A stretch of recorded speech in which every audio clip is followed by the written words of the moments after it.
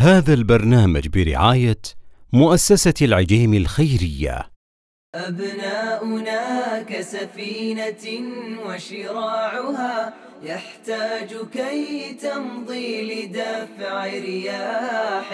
أنت الرياح تعين ابنك دائما كيما يفوز بنيل كل متاح. علمه كيف بسم الله الرحمن الرحيم. الحمد لله رب العالمين. وأصلي وأسلم على نبينا محمد وعلى آله وصحبه وسلم تسليما كثيرا. حياكم الله. أيها الإخوة والأخوات مع حلقة جديدة من برنامجكم الأسبوعي أسس التربية. ومن خلال قناتكم قناة زاد العلمية. نحن ما زلنا معكم آه، وهذه الحلقة الثانية مع سعادة الدكتور عادل رشاد. وحول الخطاب التربوي. حياكم الله دكتور عادل. أهلا وسهلا. سعدنا بك في اللقاء السابق سلام. وها نحن نلتقي بك مرة أخرى. أنا كذلك. كذلك كنا وقفنا دكتورنا الكريم عن آه، حول طرق الخطاب الخ- التربوي وناقشنا معكم التعليم والتعاطف وكذلك التوجيه. إن كان هناك من تعليق حول شيء من هذا القبيل نعم. حتى نكمل حفظكم نعم. الله. التعليق الأول إنه كما قلت لابد أن يكون لدينا كمربين مخزون. من هذه الطرق وليس هناك حصر لهذه الطرق بل نستطيع من خلال المتغيرات التي نعيشها أن نبتكر ونجتهد في طرق موائمة آه، فقط آه، عندما تحدثت عن التعاطف التعاطف عندنا آه، يشير إلى الحب وإبداء المشاعر الطيبة لكن أيضا التعاطف يحمل في المفهوم اللي تحدث عنه الذكاء الوجداني. معنى المشاركة الوجدانية. يا سلام. أنا أشعر بك وأشعر بمشاعرك. هذه الرسالة عندما يسمعها آه، الناشئ من المربي تكون لها الأثر الكبير. بلا شك. المشاركة الوجدانية. آه، بحثت في بعض الشواهد النبوية. وجدت في ال- الحديث آه، الخاص بحديث النغير. الرسول عليه الصلاة والسلام يقول في هذا الحديث في إحدى الروايات ما لي أرى أبا عمير حزينا. الله الله. أكبر. فحكوا له إنه قصة ال- الذي النغير العصفور الذي كان يلعب به. ما لي أرى أبا عمير حزينا. هذه الرسالة تشير إلى أن المربي يجب أن يتحسس مشاعر الابن مشاركة وجدانية. نعم. وعندما يستشعر الابن هذا سيكون سينفتح على أبيه. مع عندما نتساءل عن سر الصمت صمت الأبناء آه، قد يكون من آه، أسبابه غياب هذه المشاركة الوجدانية. آه، يا سلام. إذا مضينا في الطرق وهذه الطرق الحقيقة يتحدث عن ستة منها آه، الكاتب الذي تحدثنا عنه بالكلمن آه، في كتاب عنونه كيف تقولها لأبنائك. يا سلام. كيف تقول فذكر آه، طرقا ستة. آه، أحببت أن آتي بشواهدها النبوية. ثم أضيف طرق أخرى رائع. على هذه الطرق. وتأكيدا لما ذكرت دكتورنا أن تعدد هذه الطرق هي فرصة لنا نحن ثمينة. نعم. كمربين أو نحن كمربون بحيث أنه إذا لم نستطع ان ان ان, أن, أن نسلك في الجانب التربوي الطريقة الأولى انتقلنا نعم. للعاشرة وهكذا. تمام تمام. البعض يرى بعض الأحيان بأن تعدد الطرق أنها عبارة عن تكليف زائد هو عبارة لا، عن لا، لا. اختر الطريقة يا المناسبة سلام. مثلا قد يأتي ولدك ويطلب الخروج مع أصدقائه. جميل. ممكن أستخدم لغة الأوامر والنواهي لكن لا تصلح. أقول لا, لا تخرج. خروج. ما في خروج. أو أسمح له بالخروج. لابد أن أتفاوض. لأصل إلى مجموعة من الضوابط اللي تحكم هذا الخروج. اذا اذا هنا هنا هنا طريقة التفاوض. التفاوض. يا سلام. ما المقصود؟ إنه يكون هناك بين المربي وبين الناشئ آه، اتفاق على ال- الطريقة المناسبة للتصرف. أها. هو الآن يريد أن يمارس آه، رغبة له في الخروج مع أصحابه. يجب إن المربي مع الناشئ يضع مجموعة من الضوابط. يا سلام. يعني كأننا في اتفاقية نعم. تجارية. يذكرنا هذا بحديث النبي صلى الله عليه وسلم عندما رأى بعض تجمعات شباب الصحابة على نواصي الطرق. يا سلام. فقال لهم إياكم الجلوس في الطرقات. هذا أمر. آه. إياكم الج... فقالوا ما لنا بد؟ هي مجالسنا نتحدث فيها. سبحان الله. هم لم يرفضوا أمر النبي عليه الصلاة والسلام ولكن عبروا عن احتياجهم. ما لنا بد مجالسنا نتحدث فيها. فقال إن أبيتم إلا الجلوس في الطرقات فأعطوا الطريق حقه يا سلام يا سلام. قال وما حق الطريق؟ غض البصر وكف الأذى إلى آخر هذه الضوابط. إذا الحديث يشمل وضع ضوابط للاستمتاع بحق الطريق. كذلك إذا ولدك أراد أن يخرج لابد أن يكون هناك آه، بعض آه، الضوابط التي تحمي هذا الخروج من آه، مساوئه جميل من حيث المجيء في وقت يعني ممكن دون تأخر وغير ذلك ممكن دكتورنا حتى ما هذا ما يسمونه بالعقد التبادل السلوكي نعم يعني مثلا ما يتعلق. بقضية التق... التقنية ما يرتبط بقضية الاجتماعات ما يرتبط نعم. بقضية النوم نعم أنا أعرف بعض الحالات الحقيقة نعم. إلى الآن يعني نعم. حالات حتى أنها يعني أباء هذه الأسر ما شاء الله تبارك الله يحملون الدكتوراه وفي تخصصات عالية جدا آه، عندهم نظام متعلق بالواي فاي وقضايا. أيوة. هذه ضوابط الاستخدام بل اعرف أيضا ناس في في في, في شركات كبرى يعني ال- ال- موعد النوم الساعة العاشرة يقول لنا سنوات والأبناء بهذه الصورة مم. هل هذا من التفاوض الذي نعم. يحصل اتفاقية ما بين الطرفين والحقيقة قيمة هذا التفاوض أنه يتم بين طرفين وكأنهما يتفقان على هذا في. رضا. نعم. وليست تعليمات آه، جميل جميل. مرسلة. جميل جميل. آه، لو أننا تحدثنا عن طريقة أخرى يا سلام. آه، هي طريقة التشجيع والتحفيز. يا الملاحظ أننا كآباء أو كمعلمين آه، نندهش للسلوك السيء وبسرعة ننتقد ويكون لنا آه، تعقيبات آه، حادة. لكن قلما ننتبه إلى السلوك الجيد الذي يقوم به آه، الناشئ أو الابن. تتحرك مشاعرنا عند الجوانب السلبية. نعم. فالحقيقة ال- صحيح. ال- الخطاب التربوي يعنى بالجوانب الإيجابية. آه، مثلا يحضرني في هذا حديث النبي عليه الصلاة والسلام مع أبي بن كعب. أي آية في كتاب الله أعظم؟ يا سلام. فقال أبي الله لا إله إلا هو الحي القيوم. فضرب في صدره الله. ليهنك العلم أبا المنذر. الله أكبر. معزز لفظي ليهنك العلم معزز غير لفظي بالضرب على صدره يا سلام. أبا المنذر. ف يعني لم تمر مرور ال يعني أنا أتخيل مشاعر أبي أ- أ- المنذر أبي أيوة كيف كانت في تلك اللحظة عندما يسمع من رسول الله صلى الله عليه وسلم يعني نعم. نحن الكبار دكتورنا الكريم نعم. نحن الكبار نعم. يعني كما يقول أهل الاختصاص في الدوافع مم. نحن نحتاج إلى التعزيز أكيد. فكيف بالناشئة يعني هذه. قضية يعني. يعني أيها الإخوة حقيقة كما يقول أهل الطرق والمهارات في التعامل أن قضية التشجيع والتحفيز هذه قضية يكاد أن يكون هي رقم واحد دائما يذكرها أهل الاختصاص في في فيما يتعلق بالمهارات والطرق. نعم. فنتنبه لمثل هذه القضية. نعم, نعم. إذا لغة هذا الخطاب أحسنت هنيئا لك. آه، شكرا لك. يا سلام يا سلام. فهذا آه، يعني وهذه الآن أصبحت مليئة ترى في في وسائل التواصل الاجتماعي والواتساب إلى آخره. آه، صحيح. حتى أصبح قص ولزق دكتورنا الكريم. آه، نعم هذا هو.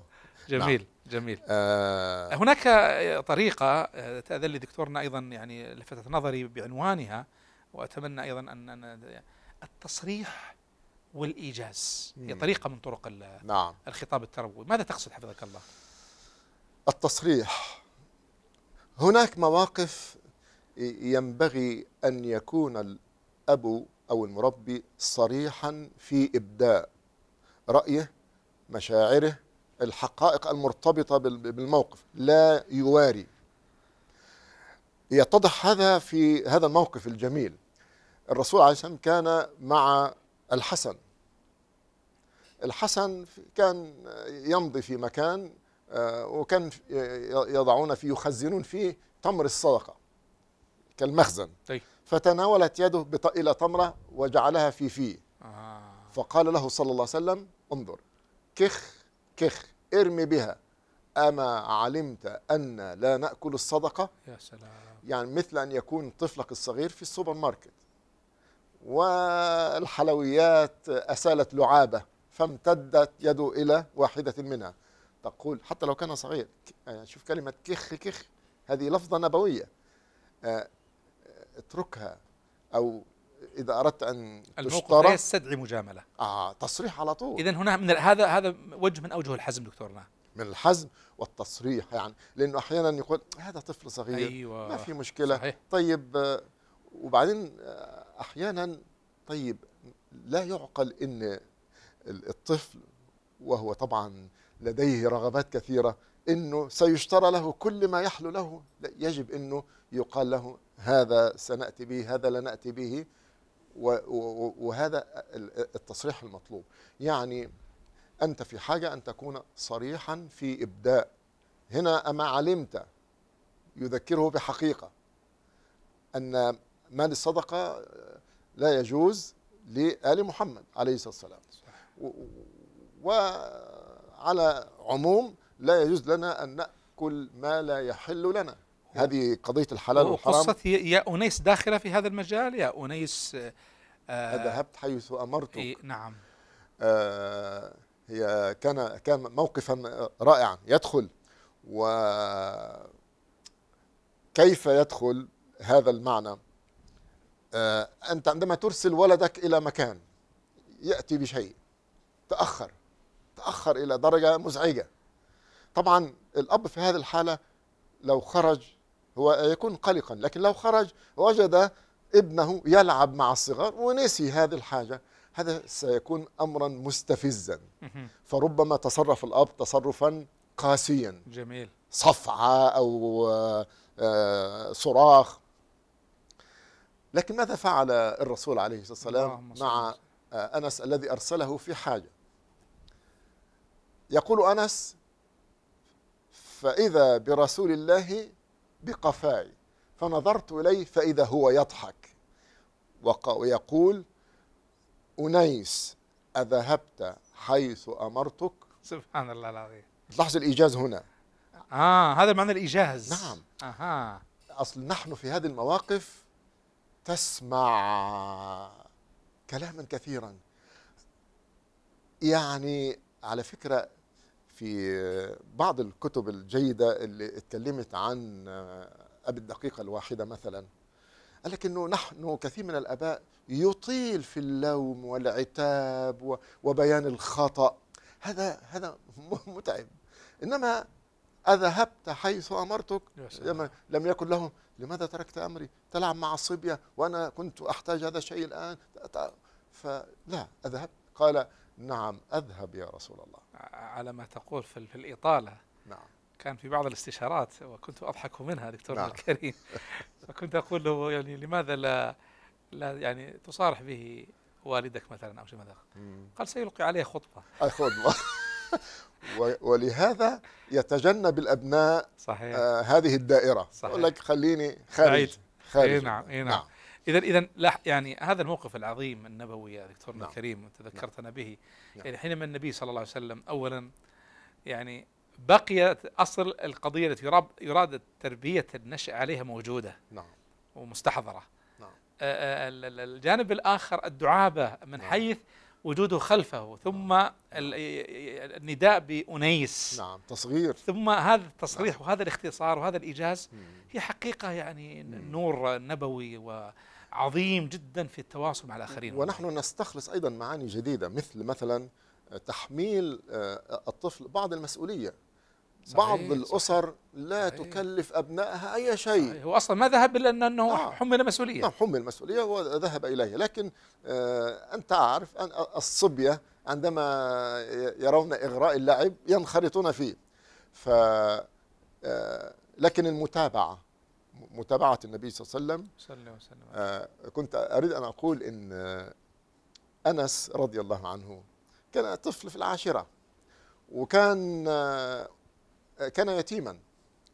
عندما قدم النبي عليه الصلاة والسلام إلى المدينة فكرت أم سليم أمه في فكرة تجعله تجعل ولدها يحظى بجوار النبي صلى الله عليه وسلم. قالت يا رسول الله ابنك يخدمك. يا سلام. وعلى فكرة كان الرسول يقول لأنيس يا بني الله الله.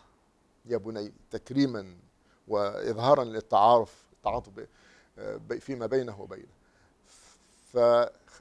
فعاش أنس عاش مع الرسول صلى الله عليه وسلم عشر سنوات. الله أكبر. فتعلم و آه، هنيئا للابن وهنيئا لل- للأم. الأم الله. الله أكبر نعم. الله أكبر. وهذه آه، قيمة المربي عندما يحسن اختياره. صحيح. آه، دكتورنا الكريم حفظك الله. يعني أنا أظن أنه قضية الحوار طريقة مهمة جدا. بل يكاد بعض الأحيان الوا- يعني الشخص إذا أراد أن يقول خطاب يقول يساوي الحوار.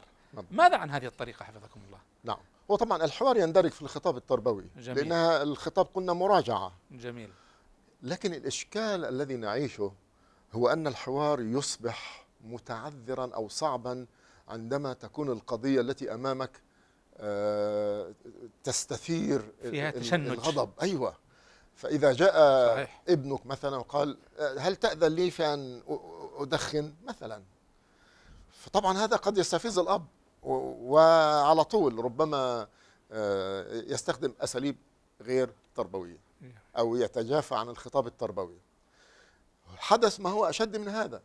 لما جاء الشاب هذا إلى الرسول صلى الله عليه وسلم وقال "إ- ائذن لي في الزنا. آه، كيف يقول هذا الشاب لرسول الله صلى الله عليه وسلم ائذن لي في الزنا. وهو يعرف أن الزنا حرام. لكن يبدو أنه فهم أن قضية الزنا هذه نظام والنظام يمكن أن يلغى. لا هذا دين وليس آه، أحكام أو ق- قوانين. هذا دين. لكن الرسول عليه الصلاة والسلام ماذا فعل؟ مع أن القوم هموا بالشاب ليصرفوه قال أدنوا يا سلام. قربوه. يا سلام. وهنا نؤكد على المسافة الإرشادية. يا سلام. المسافة الإرشادية. القرب الحسي. القرب نعم. لأنه إذا كان الابن يتخوف أن يقترب من أبيه أو من معلمه فمعناه أنه هناك خطأ صحيح. في العلاقة. ولذلك البعض يهرب مم. آه، بالتواصل إلى وسائل التواصل الاجتماعي. نعم. ويفقد هذه القضية وهذه الميزة. المعنى ال- ال- الهائل. آه، والحقيقة ما في مشاعر أحرص وأدفأ من مشاعر الأبوين لكن ال- الغضب والخوف على الابن قد يضطر الأب أو الأم إلى استخدام أساليب أكثر حدة صحيح. آه، واحيانا يا دكتور الكريم عفوا منك نعم. يعني قد يكون هذه من الحكمة الشخص حينما يرى نفسه أن الأب أيضا أنه يستثار غضبا وهو لديه إشكالية في هذا الجانب فيقول أنا أحاول أن أصلح من خلال استخدام وسائل التواصل الاجتماعي. قد يكون أضبط بالنسبة لهذا الموقف من غيره. فقد يكون لها لها وجه وحكمة يعني. آه، آه، نحن نتلمس الفائدة من أي مصدر. أحسنت. شريطة أن يكون ال- المصدر موثوقا. ومدروساً، لأنه نعم. ال- التواصل الاجتماعي أشبه بالهواء. قد يكون فيه ال- ال- الحياة وقد يكون فيه غير ذلك. صحيح. الغريب هنا أن الرسول صلى الله عليه وسلم ما آه، تحاور معه انطلاقا من النصوص الشرعية. يا سلام. إنما من منطقية ال- الطلب. أترضاه؟ الله. لأمك لأختك لخالتك لعمتك. عمتك. رد الشاب لا والذي بعثك بالحق. قال ولا الناس يرضونه لأمهاتهم لبناتهم لخالاتهم انتهت ال- ال- ال- القضية الإقناعية. لكن الأخطاء أحيانا تتشبث بوجدانيات تحتاج إلى لمسة تعاطف ودفء. فالرسول عليه السلام يضع يده على صدره. الله يقول أكبر. اللهم اغفر ذنبه وطهر قلبه وحصن فرجه. الله الله. يقول الراوي فلم يعد آه، يلتفت الشاب إلى شيء من ذلك قط. يعني آه، هذه الجلسة الإرشادية التربوية آه، خلصت الشاب من هذه الفكرة آه، الغريبة أو الفكرة الشاذة. صحيح. تصور لو أنه عولج هذا الشاب باستخدام آه، الضرب أو الإبعاد أو التسفيه. لم آه، نكن قد نجحنا في علاج هذه المشكلة في رأسه أنت ذكرت في في في موطن يعني من خلال النقاش معكم المطلوب تحطيم الفكرة السلبية نعم. وليس تحطيم رأس صاحب صاحبها. كلمه جميلة جدا نعم يعني. صحيح صحيح. جميلة جدا يعني. نعم. فأنت تقصد بأنه لو كان الهدف هو الثاني وليس هو الهدف نعم. لما كان حصل هذا اللي حصل من الرسول صلى الله عليه وسلم لكان نعم. موقف الصحابة كافا صحيح. ولكن أن الرسول صلى الله عليه وسلم نجح. حتى أن أهل اختصاص في الجانب ال- الإرشاد مم. وال- والعلاج النفسي يسمون هذه الأسلوب الذي مارسه النبي صلى الله عليه عليه وسلم. الصلاة والسلام. يسمونه أسلوب دكتورنا الكريم أو العلاج العقلاني الانفعالي. مم. يعني آه، هي الصورة وجداني. التي تؤثر في الذهن ويكون مجال تأثيرها أيضا في الانفعال وفي المشاعر. لأنه قال اترضاه لأمك. هذا مم. الآن صورة ذهنية. أيوة. يأتي في الذهن. مم. ثم التفاعل معها لا فداك أبي وأمي. قال وهكذا الناس يرضون أمهاتهم نعم. حتى يقول البعض أن هذه من أروع ما يكون في في علاج مثل هذه الجوانب ما. يتعلق بها. صحيح. آه، استخدام القصة دكتورنا أيضا أظنها وسيلة وطريقة مهمة. آه، ربنا سبحانه هو الرب. كم قص علينا من قصص الأمم. الله أكبر. آه، تربية لنا. ولنعتبر ولنتعظ. السنة النبوية ملأى بأقاصيص كثيرة. أنت تستطيع أن تقول لولدك مثلا بصيغة الأمر والنهي المباشر أو التصريح اللي تحدثنا عنه افعل لا تفعل.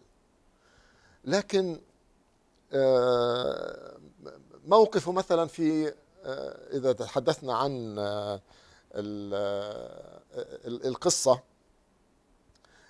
لدينا حكاية ال- الكلب. آه، الذي كان يلهث. يلهث يكاد يأكل الثرى من العطش. لما خرج ال- الرجل من البئر كما حدثنا صلى الله عليه وسلم وجد هذا الكلب يلهث. طبعا الرسول يريد أن يقول ال- ال- الحيوان آه، له حاجة وله حق. آه، نحن عادة ربما لا نلتفت آه، لقطة لكلب الأشياء هذه مهما بدا من بؤس حاله. لكن انظروا كيف قال الرجل لقد أصاب هذا الكلب من العطش ما أصابني. طيب إذا أحس باحتياج الكلب لكن هو لا يملك آه، إناء أو كوبا. فابدأ يفكر فكرة إبداعية ينزل يملأ خفه. طب كيف سيصعد به؟ يمسك الخف بفيه ويخرج ويسقي الكلب. يعقب الرسول صلى الله عليه وسلم على هذا الموقف قل فشكر الله له فغفر له. يا سلام. تأثير القصة على الصحابة الذين استمعوا هذه القصة وإن لنا في البهائم لأجرا. هذا الشاهد. هذا الشاهد قال في كل كبد رطبة أجر. رائع. هذا الإسلام الذي يجعل الإنسان يحنو على أخيه ويحنو على الناس جميعا بل يحنو على الحيوان. بهذه الصورة الجميلة التي قصها صلى الله عليه وسلم. والقصص كثيرة في وتحيي هذه القصة في الجيل روح التطوع وحب الخير للآخرين. نعم نعم. أي نعم سلام و- جميل. والتفكير. قد يقول كيف أساعده؟ فسبحان الله هذا الرجل كان لا يملك وسيلة ليصعد بالماء إليه. ففكر أنه ممكن الخف يصلح وعاء. فهذا الحقيقة كان موقف رائع رائع وقصة رائع. لها يعني أقصد أقول نستطيع أن ن- ننوع في طرق يا سلام. فلا نكتفي بالحديث المباشر تصريحا أو سردا أو توجيها القصة أيضا قريب من هذا المثل المثل نعم آه الآن كثير للأسف من الشباب لا يصلي وبعضهم يقول آه، أنا ارتكبت أخطاء كثيرة ولا أستطيع أقف بين يدي ربي وأنا مرتكب هذا. نقول ده هذا هو السبب الذي يدعوك إلى أن تصلي. تصلي. فالمثل الجميل آه، أرأيتم لو أن نهرا بباب أحدكم. يغتسل فيه خمس مرات أيبقي ذلك من درنه شيء؟ الله أكبر. قالوا لا يبقي ذلك من فذلك قال فذلك مثل الصلوات الخمس يمحو الله بهن الخطايا. يا سلام يا سلام. مثل فرصة. رائع. نعم. ف فإذا هذا المثل ليس فقط دعوة إلى آه، الصلاة بل آه، علاجا لوهم أو وسوسة أنه الإنسان المخطئ ليس له أن يقف بين يدي ربه. أبدا قف حتى تتطهر من هذه الذنوب. تحترقون تحترقون. ثم إذا آه. صليتم الظهر أطفأتها الله, وهكذا. الله أكبر الله أكبر. نعم. تذكرتني دكتورنا الكريم ما ذكره الكثير حول ما يرتبط بقضية الأسلوب المباشر والأسلوب غير المباشر. نعم. وأكدوا على أن النفس البشرية أقرب في التأثر أو التأثير تأثر يعني مم. تأثرها والتأثير بها أو فيها. بالأسلوب غير المباشر. ما حكيته الآن في طريقة القصة والمثل هو من الأساليب غير غير المباشرة. مباشرة صحيح. يضع الإنسان وال- والنشأ يضع نفسه في مكان هذا التصور في مكان هذه القصة مضبوط. في مكان هذا المثل. مضبوط. رائع رائع جدا وأنا. أريد أن أقول تفضل. ينبغي آه، أن يكون لدينا الطريقة التي تناسب الشخص. فإذا كان الشخص يناسبه الأسلوب المباشر أستخدم أسلوب مباشر. لو كان الحال والوضع يستخدم طريق غير مباشر أستخدم طريق غير مباشر. فهي الحقيقة الموقف بيسموها ال- القيادة الموقفية. ما هو الموقف الذي أنا فيه؟ وطبعا يس- يستطيع ال- المربي سواء كان أبا أو معلما من خلال حياته وخبراته أنه يدرك القضية هذه. يدرك هذه المسائل ويجرب وهم أيضا يربطون القضية بالوعي لأنه قد بالوعي. يكون الطفل لا يدرك نعم الأسلوب غير المباشر فلا تصل الرساله فعندئذ. يكون الأسلوب المباشر هو الأوعى نعم. طيب آه، قبل أن نخرج للفاصل دكتورنا الكريم آه، الإصغاء ماذا يقصد دكتور عادل في موضوع الإصغاء كطريقة من طرق ال- ال- الخطاب التربوي لكي ينجح الخطاب التربوي الذي يتضمن معنى المراجعة أنه هناك من أحدثه وينبغي أن أسمع له. أها. فلا يؤدي الخطاب دوره دون أن يكون لدي استماعا فعالا نشطا لمن أخاطبه. لأن الخطاب ليس ذو اتجاه واحد. الخطاب ليس ذو اتجاه واحد وإنما هو ذو اتجاهين. وأنا في خطابي مع الذي أتحدث عنه يجب أن أستمع له. والرسول عليه الصلاة والسلام آه، كما وصف كان إذا آه، تحدث إليه أحد أعاره أذنه. الله. ولا يعني ينزع هذه الأذن حتى هو الذي يكف عن الحديث. والحقيقة الإصغاء مع قيمته التي ندركها لكن قلما يعني ينتبه إليه الآباء أو المعلمون. سبحان الله العظيم قصة ال ال الوليد بن بن المغيرة.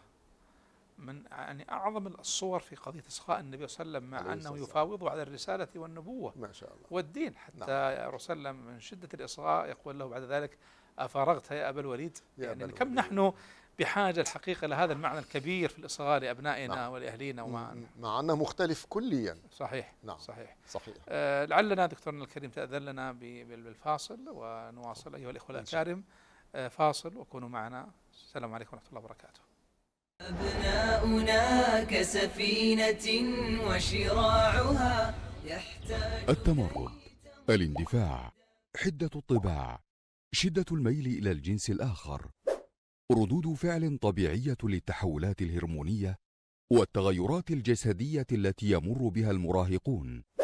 لذا ينبغي أن يكون تعامل الوالدين والمربين محاطا بالحكمة والتعقل ومركزا على إشباع حاجات المراهق النفسية مع تلك المرحلة العمرية الخطرة ومنها حاجته إلى إثبات الذات حاجته إلى الحب والانتماء حاجته إلى التوجيه والترفيه حاجته إلى الاحترام والتقدير.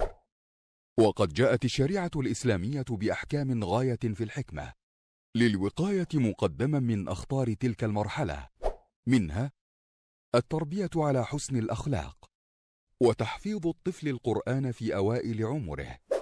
فإدخال كلام الله تعالى في صدر الطفل من شأنه أن يطهر قلبه وجوارحه. تعليمه الصلاة وتوجيهه إليها في سن السابعة وتأديبه ولو بضرب يسير على التفريط فيها في سن العاشرة. ففي إقامة الصلاة تهذيب له وصيانه. التفريق بين الأولاد في فراش النوم إذا بلغوا العاشرة. اختيار الصحبة الصالحة. وقد قيل الصاحب ساحب. ومتى اعتنى الوالدان بصحبة أولادهما وأحسن اختيارها وفر ذلك عليهما وقتا وجهدا عظيمين. إلزام الأولاد في تلك المرحلة بالاستئذان عند الدخول على الوالدين. وبعد البلوغ يحسن المبادرة بتزويجهم إن تيسر فإنه أغض للبصر واحصن للفرج. الدعاء بالهداية والصلاح فإنه من أهم ما يساند به الوالدان أولادهما في القيام بمهام تلك المرحلة المهمة والخطيرة.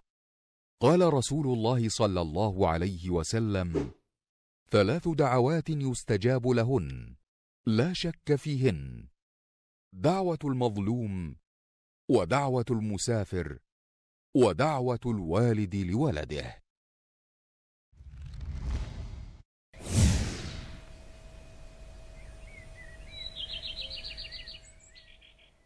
حياكم الله أيها الإخوة والأخوات وعودا حميدا ومع دكتورنا الدكتور عادل رشاد حياكم الله دكتور. حياكم الله. ما زلنا معكم ونحن في اللمسات الأخيرة حول آه، طرق ال- الخطاب التربوي. ماذا بقي معكم في هذا الموضوع؟ الله يحفظكم. نعم.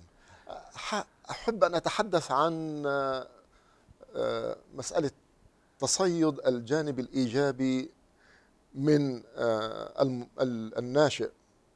آه، تصيد. نحن عادة ما نتصيد الأخطاء لكن تصيد الجوانب الإيجابية يندر في سلوك المربين إلا من رحم الله. تصيد. آه. العبارة كيف رائعة. أتصيد الجانب الإيجابي؟ يا سلام. ف و... وهذا سيساعد الناشئ على آه، أن يشعر أنه إذا ما أحسن سيلقى آه، يعني تقديرا إذا ما أساء سيلقى توجيها من أجمل المواقف هنا آه، ما يتعلق بأبي محذورة. هذا كان شاب من. من شباب الطلقاء اللي الرسول قال لهم اذهبوا فأنتم طلقاء طلقاء لكن هم لم يتربوا بعد على الإسلام وإنما يعني لا يزالوا في في وضع يحتاج إلى تربية. فأبو محظورة أخذ عشرة من أو تسعة هم من الشباب الطلقاء وتتبعوا مسيرة النبي وأصحابه عليه الصلاة والسلام فتواروا آه، بجوارهم في جبل. فلما حان وقت الصلاة أذن بلال. فقال أبو محظورة هيا نستأذن آه، نستهزئ بأذانهم. آه، فكان بلال يؤذن وهؤلاء الشباب يعني يقومون بالاستهزاء بالأذان. سبحان الله. موقف صعب. صعب جدا. فقال صلى الله عليه وسلم إني أسمع صوت إن تأذي تأذين إنسان حسن الصوت. يعني أسمع في هذه الأصوات التي تقلد الأذان صوت شخص جميل الصوت. يا الله. فطبعا الرسول آه، تغاضى عن قضية الاستهزاء وانتبه أنه اكتشف اكتشف صوتا جميلا. ولاحظوا عناية الرسول صلى الله عليه وسلم باختيار الأصوات. يعني لماذا اختار بلالا؟ لأنه أندى صوتا. لكن بلال كان يؤذن في المدينة. فأرسل أصحابه للإتيان بهؤلاء الشباب. جاءوا. ما- يعرف من الذي كان يؤذن.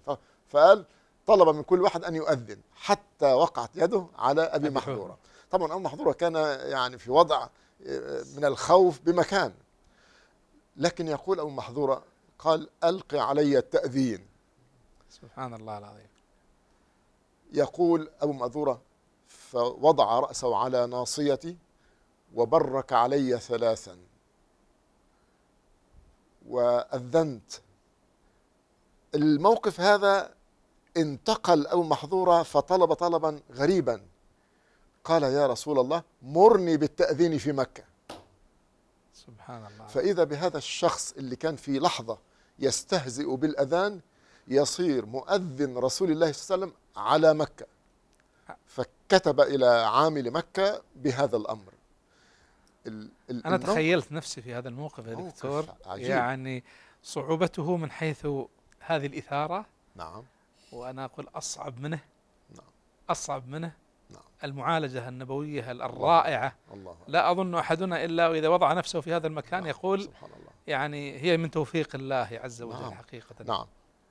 والإنسان إذا نظر إلى المآلات. والعواقب الحكمة هذه الحكمة. الحكمة.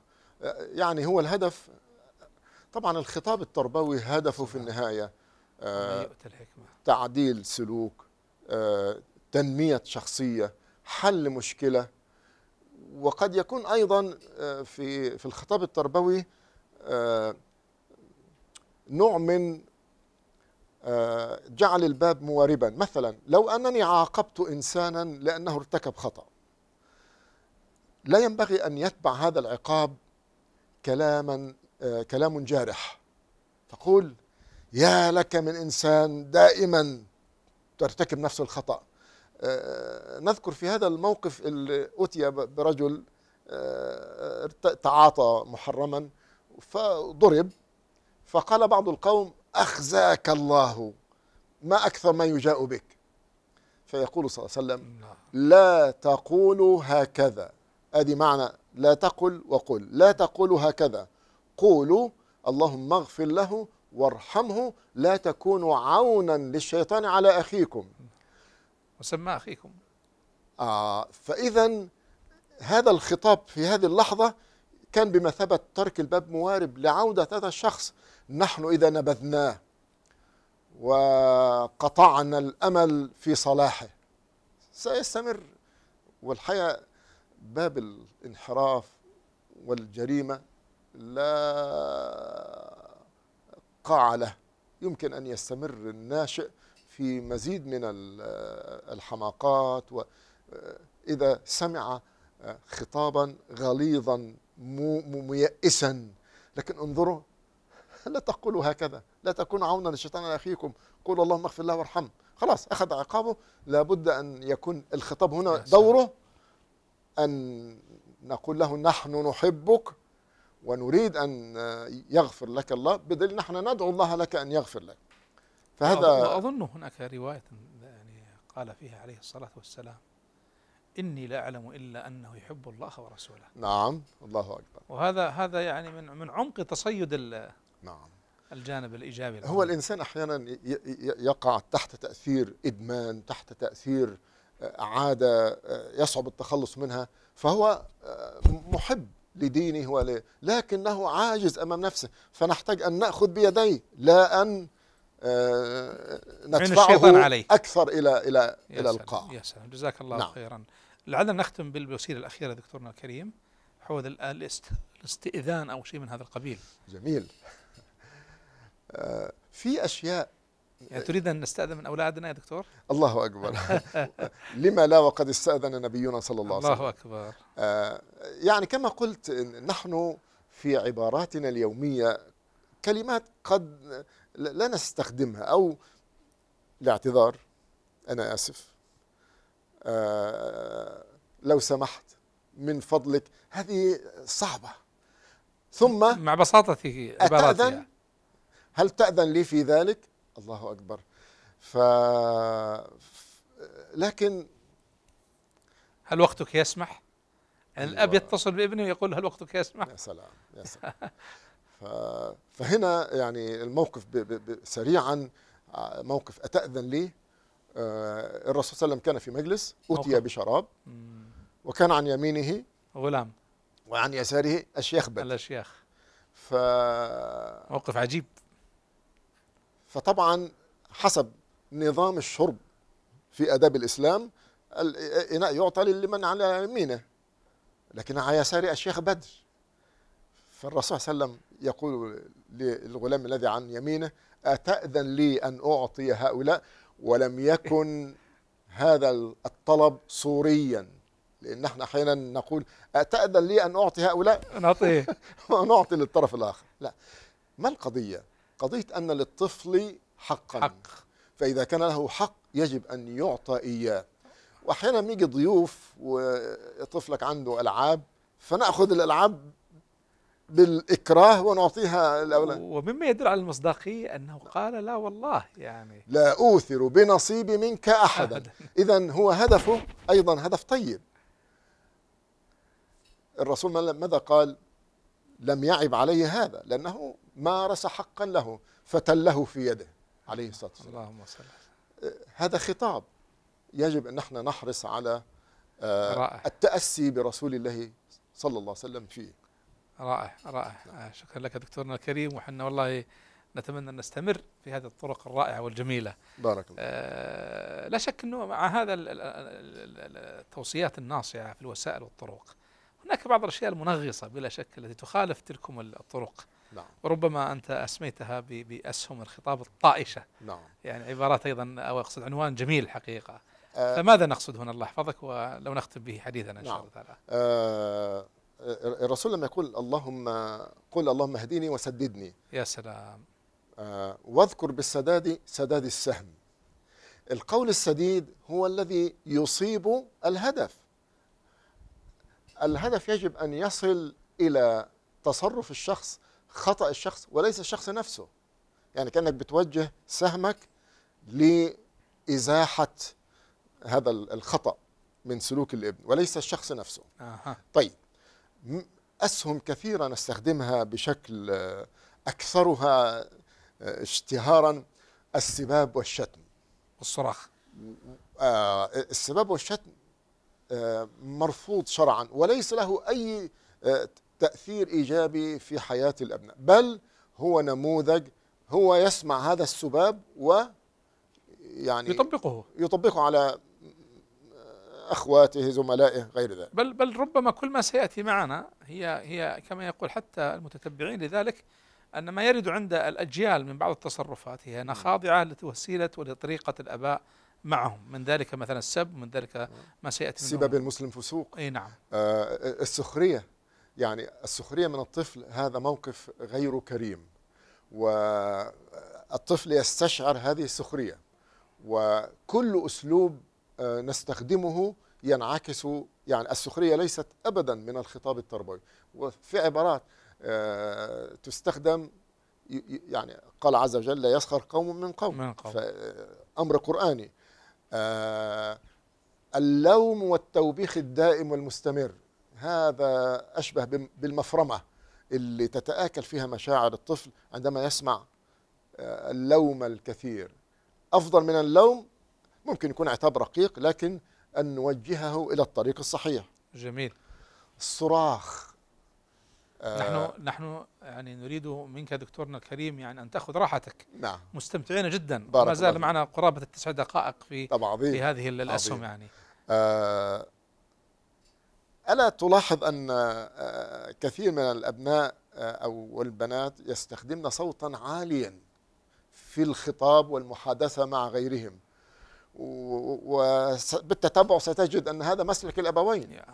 آه، الحقيقة يعني القرآن انظروا إلى توجيهات لقمان يلمس حتى مستوى الصوت. يا سلام. واغضض لقمان يقول لولده من ضمن مواعظه واغضض من صوتك. ولينفره من ارتفاع الصوت أنه ليس دليل قوة إن أنكر الأصوات إلى صوت الحمير. الحمير. فلا ترفعوا أصواتكم فوق صوت النبي فتوجيهات آه، رائع. آه، بغض الصوت. وإذا ارتفع الصوت أثار الخوف أو آه، ربما لا يبالي الابن إذا اعتاد على هذا المسلك إنما سيمارسه مع غيره. من الأسهم الطائشة أيضا التوقع السلبي. التوقع. السلبي. آه. أقول هذه اسمع الخطاب هذا أنت لن تفلح ابدا. أها. لا أمل في تغييرك. مهما قلت ستظل على ما أنت عليه. أنت ترسم خطوط انتهت. مساره المستقبلي خلاص. فهذا التوقع سلبي ابدا. لا- لابد إنه يكون هناك من اللغة المتفائلة آه، آه، التي يسمعها ولدنا. اذا أم- اذا تأذن لي في هذا الموقف أثرتني يا دكتورنا الكريم. نعم. أذكر كنت في أقدم دورة لمعلمين مم. وكان حول الشخصية المؤثرة والمعلم المؤثر والمربي المؤثر. مم. وكان في شيء متعلق ال- الجانب ال- ال- الطريقة السلبية في تعامل المربي مع المتربي آباء مع أبناء أو معلم مع طلاب. فأحد المعلمين قام وقص قصة وهو يعني يدرس يعني أصبح معلما. وهذه القصة باقية في ذهنه وهو طفل. الله. وكان يتحدث ب آه، بغيظ وحنق شديد. آه، كان الأمر ملفتا للنظر جدا. الاشكل من ذلك حينما نطق وقال كان هذا هو أبي الذي قال أنت فاشل ولن تفلح. حتى أنني يعني رث- رثيت لحالي وخشيت أن يدخل باب عدم البر فقلت لعلك لو أنك يعني أومأت أو أنك لم تصرح لكان أو اولى قال أنا دخلت التحدي حتى أثبت لوالدي أني أنا قادر وأصبحت الآن معلما. سبحان الله. سنوات لم ينسى هذا الموقف. بسبب التوقع السلبي. نعم. هو سبحان الله آه، بعض الأبناء يسمعه ويأخذ مأخذ التحدي لكن كثير من الأبناء آه، يصبح هذا بمثابة السيناريو الذي عليه أن يسلكه. أي نعم. فلا يساعده أبدا. جميل. آه، الحقيقة في نقطة آه، المقارنة مع الآخرين. أها. هذه مؤلمة. أن تقارن ابنك مع أخيه مع زميله هذه أولا آه، تصيبه بالغيظ وتجعله يحقد على الآخر. يا سلام.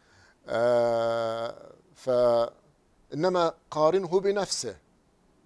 يعني يمكن أن تقول له أنت الآن أفضل منك من ذي قبل. آه، جميل. فالمقارنة جميل. مع. الذات أفضل. آه، والرسول حذرنا بشكل واضح عن آه، ألا نستخدم الدعاء على أولادنا لحظة الغضب. لا تدعوا على أولادكم لا تدعوا على أهليكم لا تدعوا على أموالكم عسى أن توافقوا ساعة إجابة. فبل العكس من ذلك. أن يسمع دعاء له. يعني الخطاب التربوي يقتضي أن تسمع ولدك دعاء له.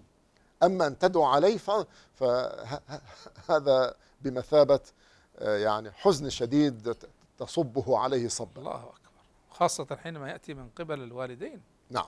أسأل الله عز وجل آه، خير. لعلنا أيضا نجد من جملة آه، الخطاب آه، الطائش آه، إن إحنا نستخدم تعبير أنا أكرهك أبغضك لا حول. أغرب عن وجهي. لا حول ولا قوة. الآن الكراهية منصبة على الذات. لكن ال- الخطاب السليم زي ما قلنا متعاطف. أنا أحبك. أحبك بلا شك لكن أكره تصرفك. يا سلام يا سلام. آه، أبو الدرداء لما كان في طريق وجد الناس متجمع على شخص عاصي فأخذوا يلعنونه ويسبونه. فقال أرأيتم لو أن أخاكم في حفرة أما كنتم مستخرجيه؟ قال ألا تبغضه يا أبا الدرداء قال إنما أبغض عمله فإذا تركه فهو أخي. الله أكبر. فهنا مهم جدا. فقه. مهما بلغ الابن من أخطاء وعناد لينصرف حديثنا إلى تصرفه وليس إلى ذاته. آه، مهم جدا هذا. آه، أما إذا آه، يعني عبرنا عن كراهيتنا لولدنا فهذا آه، أقمنا سدودا بيننا وبين أبنائنا. وأيضا إذا كان الطفل صغيرا سينعكس هذا على مشاعر القلق. والخوف وغير ذلك. يعني يكون له قيمة كبيرة في بلا شك. آه أيضا ما يسمونه يا دكتورنا هذا بال بال بال بالأمن النفسي توفرا أو عدم توفر الأمن مضبوط. النفسي أي نعم. نعم. لعل أيضا من ال- الأسهم الطائشة في خطابنا إنه دائما نستخدم عبارات مبهمة. مثلا آه عامل آه أختك باحترام. طيب يعني أعمل إيه؟ آه حافظ على نظافة غرفتك. أي نعم. التعبيرات عامة خصوصا لما. يكون الطفل يكون لا صغير. لا تتأخر في الليل. آه نعم. طيب متى؟ ما نعم. هو جاك جاء أتى الساعة 12 قال ما تأخرت. مضبوط فهنا آه، هذا الخطاب لم يؤدي إلى نتيجة لأنه سيفسر أكثر تفسير. أكثر من وعند تفسير. النقاش آه، أنا قمت بما طلبتم مني. صحيح. لا أنا لا أقصد هذا. اذا لابد من تحديد الخطاب. نعم. آه، يدخل في هذا أيضا الاتهام بغير دليل. يا سلام. آه، يعني وهذا من سوء الظن الحقيقة. يعني أنت لا تصدر حكما على ولد من أولادك دون أن يكون لديك أدلة مؤكدة. آه، يعني لو نظرنا مثلا إلى موقف يعقوب عليه السلام. يا سلام. كان موقف صعب. أخذوا ابنه وعادوا بدم كذب على قميصه. وطبعا يعقوب عرف لو كان أكلوا الذئب لكان الثوب حصل له تمزق أو كذا. قال بل سولت سولت لكم أنفسكم. فصبر جميل. هو ظن أنها على آخر الليل حيجي والله المستعان على ما تصفون. آه، فهنا الر- الرجل آه، ما عنده دليل يثبت إن هم فعلوا به ما فعل. هو كان يريد منهم اعترافا لكن تكتموا على الأمر فترة طويلة جدا. إلى أن يعني صرحوا بخطأ في النهاية. فالشاهد هنا آه، آه، ده يقع فيه الحي مثلا اختفى شيء من البيت. أنت الذي أخذته. هذا وارد. لكن من الممكن أن أن نقول آه، لقد اختفى هذا الشيء آه، ساعدونا على الوصول إليه. يا سلام. هذا أفضل لأنه لو أنت اتهمتها حيرفض الاتهام. كل ما هنالك آه، يعني آه، اتهمته دون دليل. إنما لو بل بعضهم يضع طريقة جيدة إيجابية يعني نعم. يقول ومن يأتي به فله جائزة. جائزة. وإن كان بعضهم يتخذ هذه فرصة ي- يأخذ الأشياء ليحصل على الجائزة. ف... فالحقيقة آه، نحن نريد أن نحرص على أن يكون ال- الخطاب سديدا يحقق الهدف في آه، تصحيح سلوك في تعزيز مشاعر. الناشئ آه، في حل مشكلة تعترضه آه، وغير ذلك من ال- الأسباب في بناء علاقة إيجابية. أحيانا نحن نضحي بالعلاقة بيني وبين أولادي في جو التوجيه. يا سلام. إنما لا تجعل آه هذا على حساب ضمور العلاقة بينك وبين أولادك. الله أكبر. آه، الخطاب التربوي آه، آه، آه، أقول أنه ليس معناه الخطاب اللين أو المتساهل. أبدا هو خطاب قد يكون في بعض اللحظات في منتهى الحسم والحزم بناء على الموقف الذي أنت فيه. لأنه آه. إذا كان الم- الموقف مثلا الابن وقع في خطأ شديد و- فخطابه خطابا لينا هنا سيجعله يجترئ أكثر يا سلام يا سلام. انما آه، يأتي هنا موضوع التصريح آه، إذا كانت لدي الأدلة الدامغة آه، أواجهه بهذه الأدلة أنت كذا وكذا وكذا وماذا هو المطلوب الآن؟ ما المطلوب من الخطاب التربوي؟ والله إذا إما أن أحول بيني بين ولدي وبين الخطأ اللي هو المنهج الوقائي فإذا ما أخطأ يبقى لابد إذا كان الخطأ يمكن أن يكتفى فيه بالاعتذار فيطلب منه الاعتذار. إن سلام. كان الخطأ يتطلب عقابا أو ردا لما أخذ أو إصلاحا لما أفسد فهذا كله يؤديه الخطاب التربوي السديد. أحسنت أحسنت أحسنت دكتورنا الكريم. وقولوا قولا بارك الله. الله أكبر سديدا. سديدا. الله يجعلنا وإياك والسامعين والمستمعات. والمستمعين منهم. اللهم آمين. اللهم آمين. كنا نتمنى والله أن أكرمكم. تستمر الحلقة أكثر من ذلك. الله يحفظك ويبارك. وتعدنا إن شاء الله في حلقات أخرى إن في لقاءات. جميلة. دكتور عادل سلمك كان معنا أيها الإخوة والأخوات. أستاذنا الدكتور عادل رشاد جزاه الله خيرا. آه، حول الخطاب التربوي حلق آه، معنا حول المفهوم والأهمية ثم الطرق ثم تلكم الأسهم الطائشة. أسأل الله عز وجل أن يوفقنا وإياكم لكل خير. تحياتي لكم. وإلى لقاء قادم في الأسبوع القادم بإذن الله. السلام عليكم ورحمة الله وبركاته. هذا البرنامج برعاية مؤسسة العجيم الخيرية. أبناؤنا كسفينة وشراعها يحتاج كي تمضي لدفع رياح. أنت الرياح تعين ابنك دائما.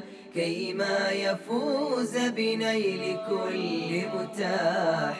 علمه كيف الانطلاق وكله عونا يراقب من وراء وشاحي قل يا بني طريق مجدك واضح فاسلكه تحظى بفرصة لنجاح أبناؤنا كسفينة وشراعها يحتاج كي